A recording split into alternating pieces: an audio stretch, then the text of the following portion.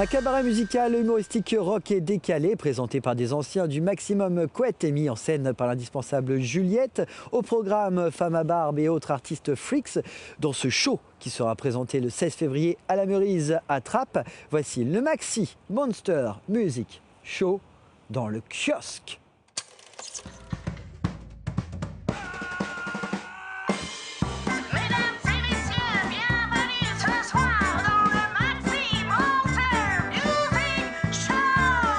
Bonjour le kiosque, alors moi c'est Moon et j'interprète Gina Trapezina, la poupée barbue dans le Maxi Monster Music Show. Bonjour le kiosque, moi c'est Laurette et donc j'interprète le personnage d'Olga Nunushka Bravinsky, la contrebassiste, danseuse mécanique du Maxi Monster Music Show.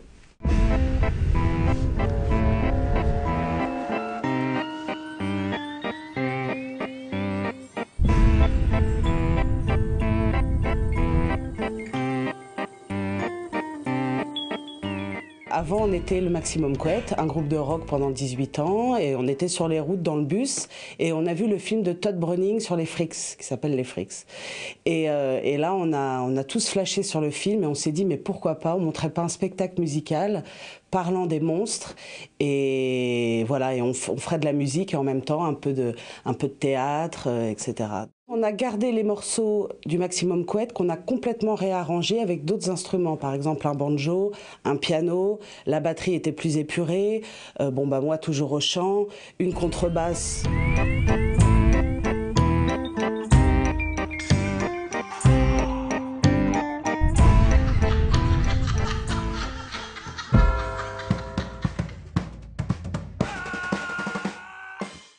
Le spectacle, en fait, le projet Maxi Monster Music Show existe depuis 2008. Mais donc il y a eu déjà deux versions. Donc il y a eu la première qui a tourné pendant 3-4 ans. Il y a eu plus d'une centaine de dates.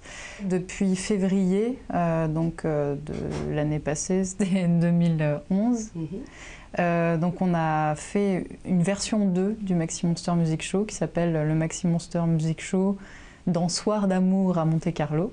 On a fait appel pour la mise en scène à Juliette, donc la chanteuse, euh, parce que justement on avait envie d'un regard extérieur.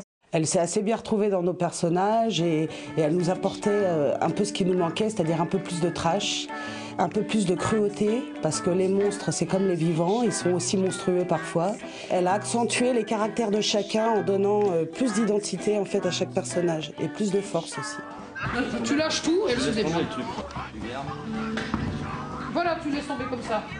En disant Ce regrettable incident ne doit pas nous faire oublier que le spectacle continue. Je pense que les gens ont besoin de ça en ce moment et pendant une heure et demie de déconnecter de la réalité et de rire et aussi pour eux de lâcher les émotions, les frustrations, tout ce que les gens vivent. Je pense qu'à un moment dans la salle, pendant une heure et demie, ils vont tout oublier. On n'est ni vraiment de la musique ni vraiment du théâtre. On est entre deux. Mmh. Et je crois que Enfin, dans les retours qu'on a, souvent, ce que les gens apprécient, c'est qu'ils ils voient quelque chose qu'ils n'ont pas l'habitude de voir. À la base, on, vient tous plutôt de la musique que de la comédie, même si certains dans, le projet avaient déjà fait un peu de théâtre à côté. Donc euh, c'est sûr que ça a évolué parce que nous aussi, on a appris à, à incarner vraiment nos personnages et à les définir au fur et à mesure des années. Donc c'est vrai que maintenant, bah, dans le spectacle, on, on a du, des dialogues, on a plus de relations entre les personnages, on assume plus le côté théâtre. C'est un joker agitateur, pour lui il n'y a pas de demi-mesure. Comme dans les films de science-fiction, et elle fait monter la pression. Alors ils vont voir euh, le, le, terrible Raymond Butor à la batterie, donc euh, voilà, qui joue des chaînes avec des cymbales. L'homme fort le plus petit du monde, mais extrêmement fort, mais petit.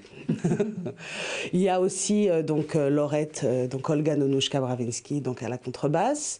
Il y a Axel de la Rosa, le ténébreux tireur d'élite à la guitare. Il y a San Kerdam, qui est aussi à la guitare et au banjo et à, euh, et à la, trompette, qui est aussi le fakir un peu euh, asomniaque, euh, assez délirant aussi. Il y a donc Miss Gabrielle, la fameuse femme tronc.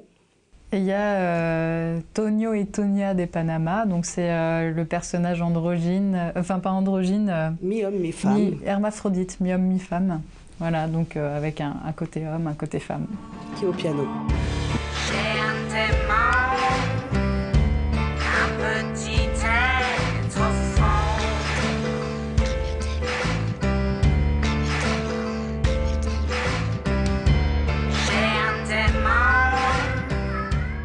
Travaillé avec un décorateur qui s'appelle Alain Juteau, qui travaille essentiellement dans, le cinéma, où on est vraiment dans, une, sorte de freak show avec, euh, avec un rideau rouge, avec une batterie tout en ferraille, avec des coffres, avec euh, une, roulotte. Il est rétro parce que ça fait plus appel aux années 1900 qu'à aujourd'hui. Par contre, on n'est pas clairement un spectacle historique. Donc il y a des trucs qui sont pas concordants, tout ça, et on, et on en joue aussi. Voilà. Après, c'est vrai qu'au niveau des influences musicales, bah, comme, comme l'expliquait Moon, c'est vraiment, on s'est inspiré des films muets, euh, Buster Keaton, Charlie Chaplin, Tom ou ce genre de. aussi, Voilà, euh, et en- Cave. euh. Et donc tout, tout cet univers-là, c'est l'univers du rétro. Et il y a une couleur aussi assez rock'n'roll.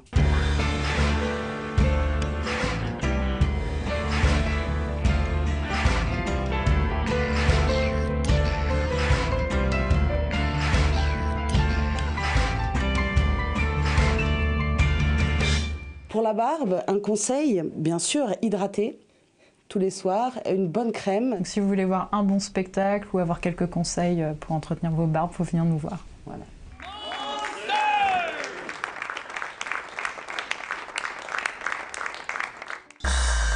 Et maintenant, un tout nouveau sujet de la rédaction.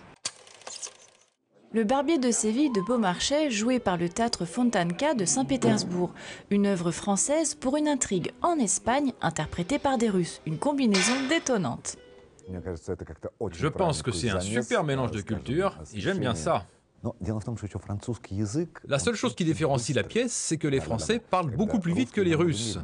Alors, quand le metteur en scène a abordé la pièce en russe, il était loin de penser qu'elle serait deux fois plus longue que la version française.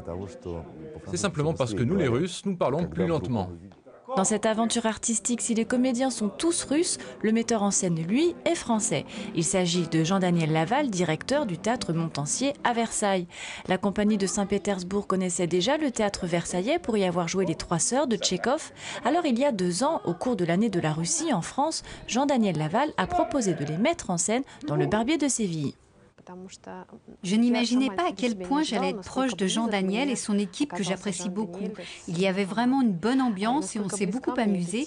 Et c'est ce que j'aime dans le théâtre. Quand je travaille, c'est de m'amuser à 100%. Pour moi, cette rencontre et cet échange, c'est un cadeau de la vie.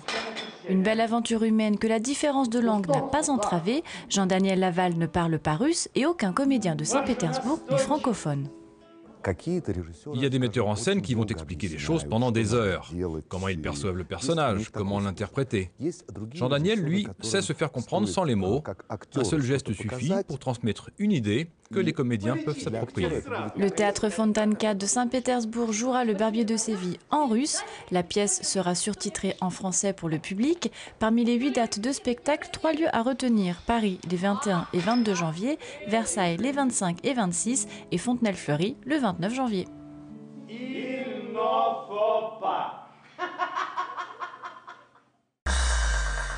Et encore quelques dates à retenir avant votre soirée Cluedo. Le 26 janvier, le cirque Mandingue sera à la Meurise, à Trappes, avec Fauté Forêt.